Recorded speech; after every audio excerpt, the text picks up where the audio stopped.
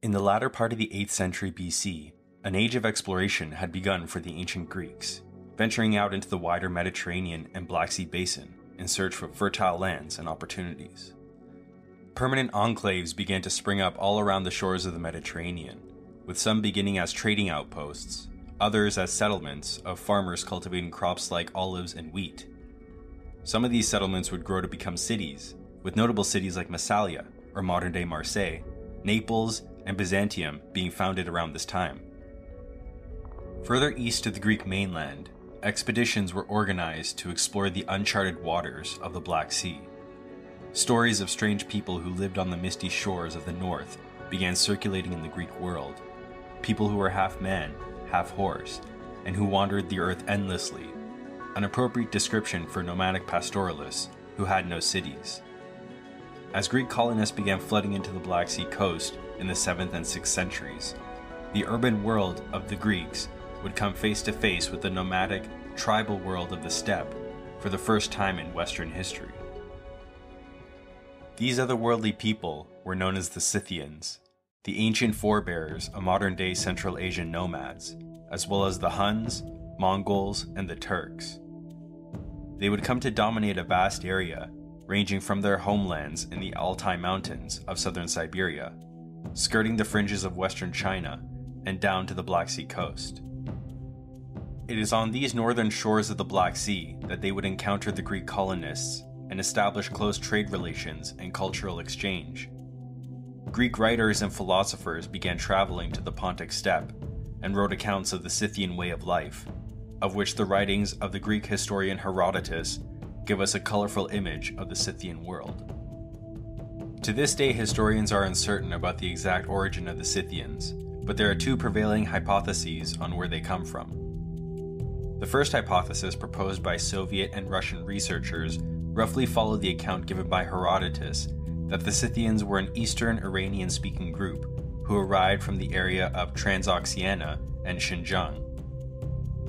The second hypothesis states that the Scythians were descended from an earlier Bronze Age culture called the Srubnaya culture, an Iranic people native to the Pontic steppe area.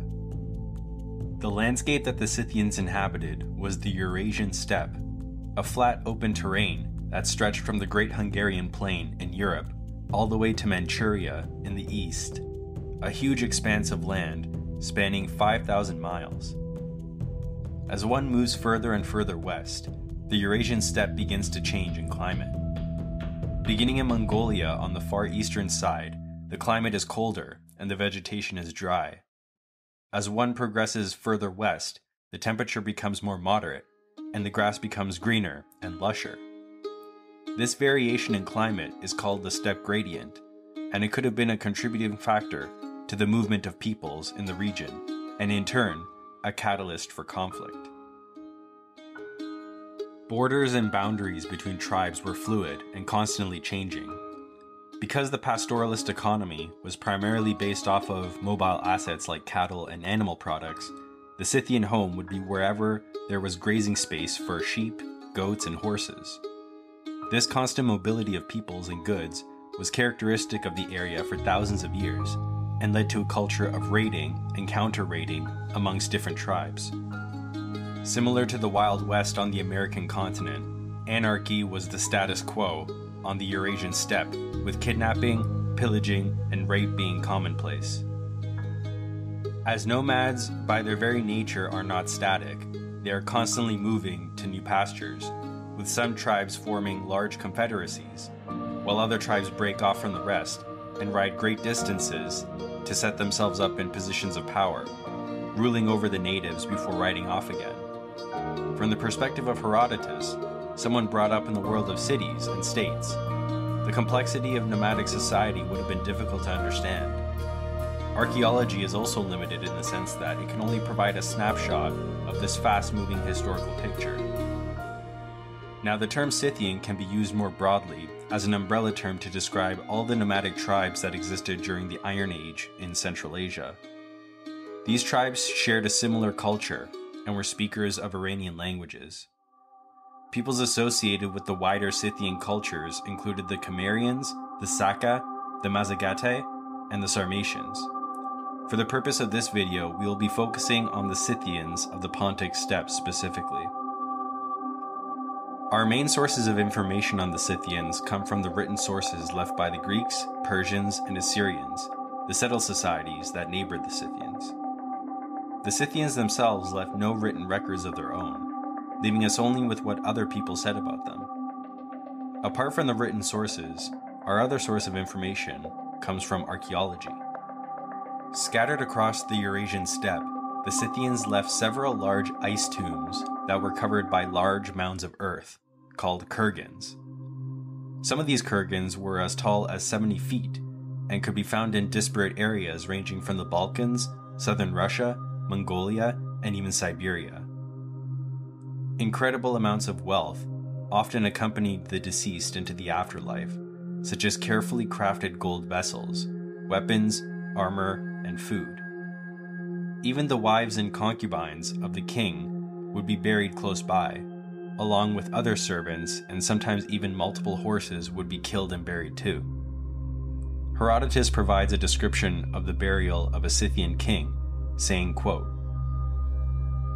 Having laid out the corpse in the tomb on a mattress and planted spears on both sides of the body, beams are stretched across above it to form a roof, which is covered over with mats. In the space around the king's body, they bury one of his concubines after strangling her and his cupbearer, carver, equerry, attendant messenger, horses, the pick of everything else, and golden bowls. Having done this, they heap up a great barrow. End quote. Like the pharaohs of ancient Egypt, or the emperors of imperial China, the Scythian kings were buried with all of the comforts and necessities that they would need in the afterlife, the hope being that they would be sufficiently content to remain in their new domain and not interfere in the world of the living. Once the king was laid to rest, an enormous amount of human effort was exerted to build the burial mound, displaying the prestige and power of the deceased king for all to see. Other practical advantages of creating a large mound was deterring grave robbers from looting. In hindsight, this deterrent was incredibly effective because it would be thousands of years later, in the 18th century, when Russian researchers would rediscover these ice tombs that remained largely undisturbed in the desolate wilderness of the steppe. The artifacts uncovered in these tombs showcase the mastery the Scythians had as artisans, with depictions of animals and nature being a central theme in their art style. Deer, lions, panthers, and horses were popularly portrayed, along with mythological beasts such as griffins and sirens. These artifacts showcase the Scythians' obsession with nature and how it transcended their physical and spiritual world. These naturalistic depictions even made it on their skin, with tattooed mummies also being unearthed in these ice tombs. One of the most famous Scythian mummies discovered was dubbed the Ice Maiden. She was discovered in an undisturbed kurgan that dated to the 5th century BC and was so well preserved that the skin bearing her tattoos was still visible when her mummy was unearthed. On the one hand, the Scythians revered and respected their own dead, burying them with treasures and large edifices. But on the other hand, they could be especially gruesome to their fallen enemies. One particularly grim custom that was practiced by the Scythians and other nomadic peoples was that after they would slay an enemy, they would take the deceased's skull and make a drinking cup out of it, sometimes highly decorated with gold or silver encrusted around the rim of the cup. Herodotus describes this practice in more detail, saying, The skulls of their enemies, not indeed of all, but of those whom they most detest, they treat as follows. Having sawn off the portion below the eyebrows and cleaned out the inside, they cover the outside with leather. When a man is poor, this is all he does. But if he is rich, he also lines the inside with gold. In either case, the skull is used as a drinking cup. They do the same with the skulls of their own kith and kin if they have been at feud with them, and have vanquished them in the presence of the king. When strangers whom they deem of any account come to visit them, these skulls are handed round, and the host tells how that these were his relations who made war upon him, and how that he got the better of them, all this being looked upon as a proof of bravery. End quote. This gruesome tradition of making skull cups would continue among the steppe peoples long after the Scythians had left. Most notably, the practice would be mentioned again some 1500 years later with the medieval Bulgars in the 9th century. The Bulgars, a nomadic steppe people themselves, came into conflict with the Eastern Romans and defeated them in battle. The Bulgarian king Krum, after capturing the Byzantine emperor Nicephorus, famously made a drinking cup out of his skull. It was clear that alcohol played an important part in Scythian culture. With large amounts of horses, sheep, and goats at their disposal, the Scythians' main alcoholic beverage was fermented milk, a drink that is enjoyed by pastoralist people to this day. As commercial ties with Greece and Persia developed over the centuries, the Scythians would add wine to their drink menu and were known to drink it undiluted, much to the Greeks' disgust, as they normally drank wine diluted in water and saw the Scythian drinking habit as barbaric. Alcohol was not the only vice that the Scythians engaged in. Interestingly, the Scythians were recorded by ancient sources as consuming large amounts of cannabis. Its use ranged from using hemp to weave their clothing, burning it in funeral rituals, using it for pain relief from injuries sustained in combat, and using it recreationally. Herodotus mentions the Scythians using cannabis in his histories, saying, quote, After the burial, they set up three poles leaning together to a point and cover them with woolen mats. They make a pit in the center beneath the poles and throw red hot stones into it. They take the seed of the hemp and creeping under the mats, they throw it on the red hot stones.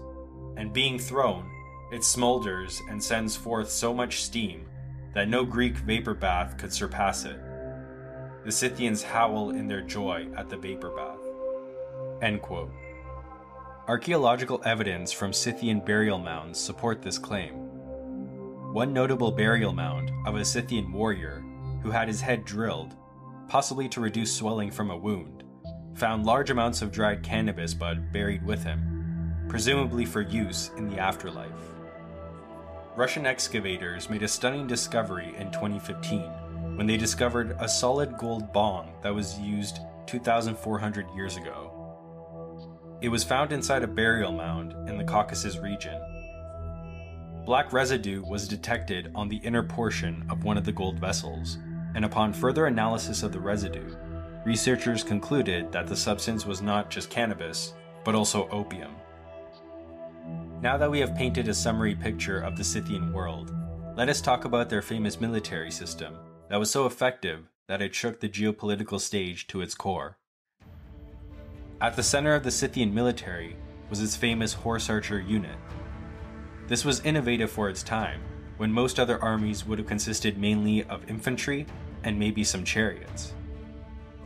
The speed of a horse was the fastest speed humans were capable of going for millennia until the invention of the steam engine train. This mobility was harnessed by the Scythians in a way that proved devastating to their enemies. Contingents of charging Scythian horse archers could reach speeds up to 30 to 40 miles an hour, raining arrows down on enemy lines before wheeling away at the last moment, giving their enemy infantry no opportunity to respond. This guerrilla style attack could be repeated multiple times until the enemy lines begin to break, allowing the Scythians to finish off the enemy with brutal efficiency. Coupled with the mobility of the horse, the range of the composite bow completed the deadly effectiveness of the Scythian mounted horse archer. The stiffness and power of the bow allowed arrows to reach a distance of up to 200 yards with considerable accuracy. Professor Barry Cunliffe described the effectiveness of the Scythian arrows and how devastating they were to the unfortunate souls who got shot with them. Made from bronze, the arrowheads had small hooks on them, so if you attempted to pull the arrow out, it would rip the wound apart, causing excruciating agony. The Scythians also made use of poison in their arrows. They would take the venom of pregnant female snakes, which is when the venom was at its most potent, and mix it with blood. After leaving the mixture to ferment for a few weeks, they would smear their arrows in it, assuring death for anyone who got pierced by them. For all these tangible advantages the Scythians had in war, it was the intangible advantages that could win them the battle without firing a single shot. The psychological edge the Scythians had is impossible to quantify, yet we know from Herodotus that their reputation in battle was known by all throughout the ancient world, and this led to Scythian mercenaries being highly coveted by the Greek and Assyrian kings. Fear and terror would also play their part with Herodotus saying that the Scythians would often decapitate the enemies they slew to bring back to their king. Next, they scalped the severed head in order to use the scalp as a napkin. A warrior would either hang the scalps from their horse's bridle or fashion a cloak out of them as a way to show off their prowess in battle for all to see. It is with the horse and bow that the Scythians would bring down the world's superpowers of their day and spread terror to the settled societies they raided. In the 7th century BC, the Scythians would make their debut on the world stage, and it would completely change the political landscape in the Middle East forever. The Assyrians at the time, the world's great superpower, had for centuries dominated their neighbors with an almost famous, if not horrific, level of brutality. But by the time the Scythians entered the Middle East, Assyria was beginning to crumble under pressure from their neighbors, such as the Medes, Babylonians, and another nomadic group called the Cimmerians. With the region becoming increasingly unstable, the Scythians saw an opportunity for plunder and loot. Herodotus writes that around the year 653 BC, a horde of Scythians led by a king named Madyes moved into what is now northern Iran and laid waste to the Medes and overthrew them. The Scythians had the backing of the Assyrian Empire at the time, using them as a sort of wrecking ball to use against their regional adversaries, the Medes. As a reward for their help, the Assyrians gave Madyes and his Scythians control over Media. The Medes, being a semi nomadic people themselves, were related to the Scythians and their languages were both mutually intelligible, without the need of an interpreter when speaking to each other. With the Medes in northwestern Iran now subjugated, Madyes and his horde of Scythians would stream over to the west, raping and pillaging all the way down to Egypt before being bribed by the Egyptians to turn back. Returning back to Media, the Scythians would rule there for 28 years. Herodotus recounts this in his histories by saying, quote, For 28 years, the Scythians ruled over Asia, and during this time they, full of arrogance and disdain, all devastated.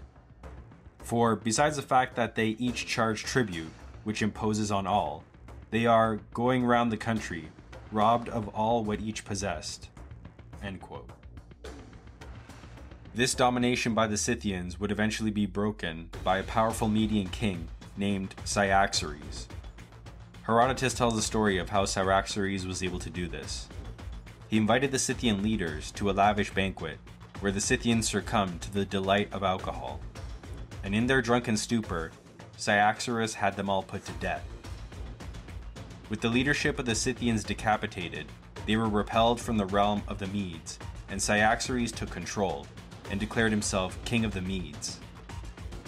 The remainder of the Scythians would flee back across the Caucasus Mountains and back into southern Russia. Cyaxares, now in full control of Media, mobilized his army and marched on Assyria in the west, keen to punish them for employing the Scythians to oppress them 28 years earlier. He made an alliance with Babylon to attack the Assyrian capital city of Nineveh. At the time, Nineveh was the largest city in the world and the peak of civilization, comparable to what cities like Baghdad or Constantinople would achieve.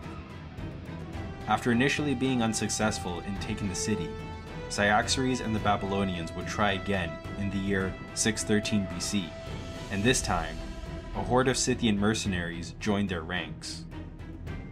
After a three month siege, the defenses of the city were breached, and the plundering of Nineveh began, paving the way for the end of the Assyrian Empire, an almost unthinkable event given it was the undisputed world superpower just 20 years prior.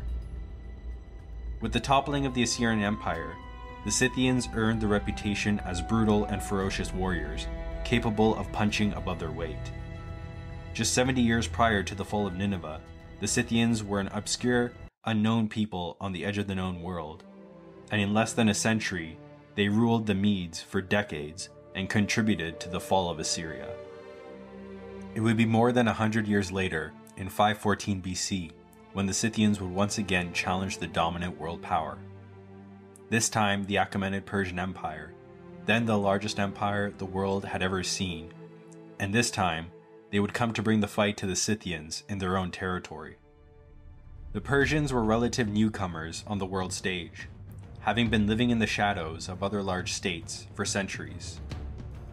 They would rise from relative obscurity to dominate their neighbors, the Medes, Babylonians, and the Assyrians in the process, inheriting the age old tradition of Mesopotamian civilization. The head of state of the Persian Empire, called the King of Kings, was Darius the Great. Darius is best known for his conflict with the Greek city states, but before he made war with the Greeks, he first sought to secure his borders to the north. The Scythian invasion of Media was still fresh in the collective memory of the Persians, and Darius was well aware of the threat they posed to his empire. Vengeance was long overdue. There was also economic motivations to attacking the Scythians. The control of goods coming from the north of the Black Sea was strategically important for Darius because it was a way to exert pressure on the Greeks down south, who relied on Scythian exports of gold, grain, hides, and furs. Darius would launch his Scythian campaign, and according to Herodotus, the Persian army numbered a monumental 700,000 men. Now, while this number must have been embellished, there is little doubt that this army must have been one of the largest forces fielded in this time period. In the campaigning season of 513, Darius led his army across the Bosporus Strait on a floating bridge constructed of boats, crossing into Europe for the first time.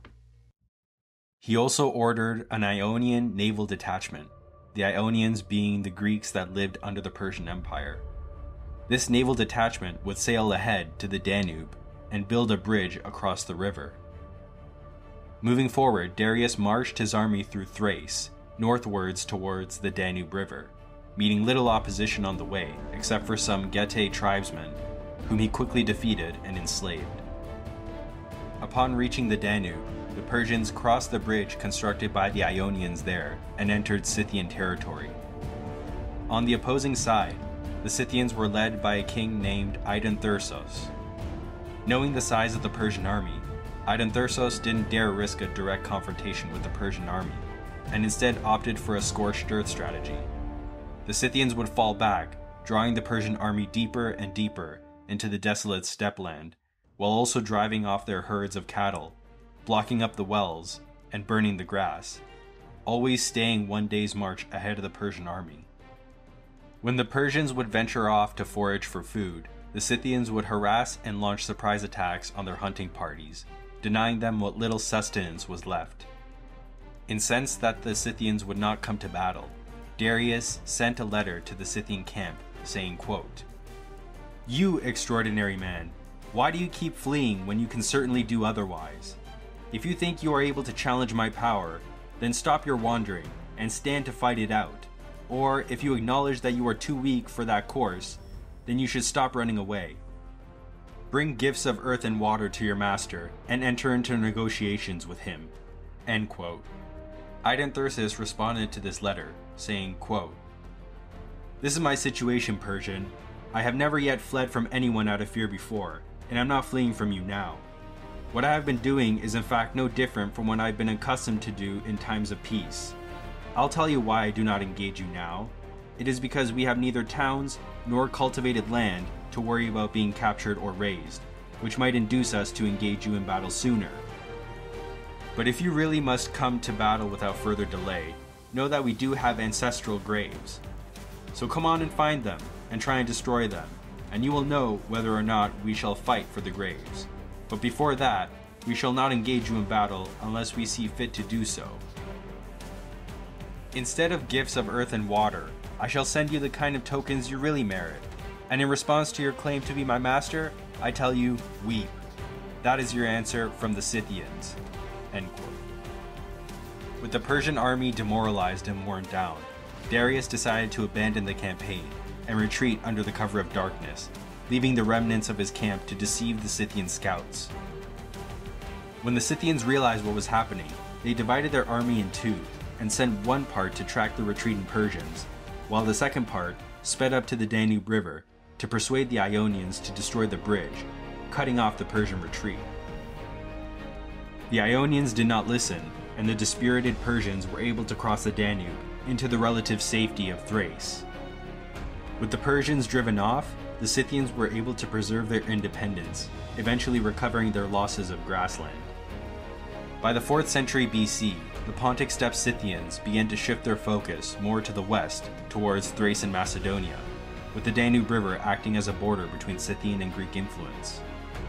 Greek sources talk about a capable Scythian king named Ateas, who was able to unite the Scythian tribes into a confederation under his leadership. This put the Scythian realm in direct contact with the Greek Macedonian kingdom in the Balkans, under their king Philip of Macedon, the father of Alexander the Great. Ateas increasingly encroached on the Macedonian sphere of influence in the Balkans, and this led to some precarious interactions between the two. Greek sources recount of one collision between Philip and Ateas during the former siege of Byzantium. When Philip requested aid and supplies to assist in the siege effort, Ateas refused to provide for them, saying that the land was barren and he had no resources to spare.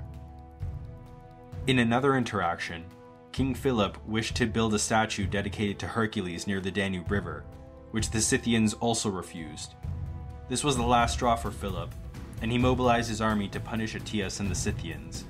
Very little is known about the sizes of the two armies, but the Greek sources say that they met on the plains of Dobruja in modern day Romania. The year was 339 BC when the two armies clashed, with considerable losses on both sides. Ateas himself was slain in the battle, and Philip nearly lost his life too, with his horse being killed in the fray. Realizing their leader was slain, the Scythian army fled the battlefield in defeat, conceding control of the eastern Balkans to the Macedonians. War reparations were paid to the Macedonians in the form of 20,000 Scythian concubines, as well as the same number of horses. As quickly as Ateas assembled the Scythian tribes under one confederation, it disintegrated just as quickly upon his death, with the Scythian tribes divided amongst themselves once again.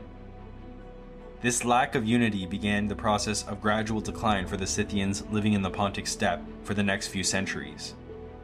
By 200 BC, other steppe nomads from the east would begin to wander into the traditional Scythian lands, disrupting their communities and eventually subjugating them.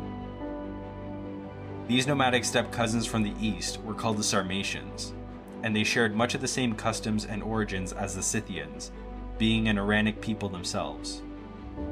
By the 2nd century AD, archaeological evidence showed that the Scythians have been largely assimilated by the Sarmatians, who would continue living in the Pontic steppe until they too were displaced by Germanic Gothic invasions in the 3rd century.